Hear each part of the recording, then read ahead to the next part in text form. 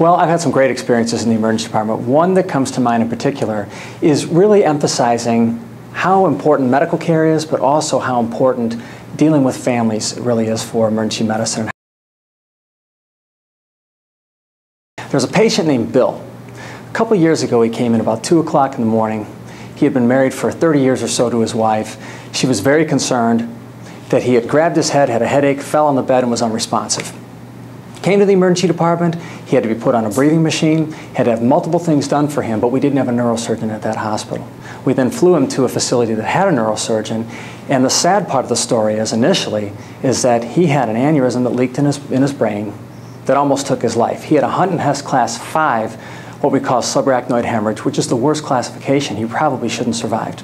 The other part of this story is when the helicopter took off, I was left with a wife and a bad story to tell her about what might happen to her husband. So I knelt next to her and told her that she should probably plan for the worst, but hope for the best, because this type of stroke, this leaking aneurysm, will probably take his life.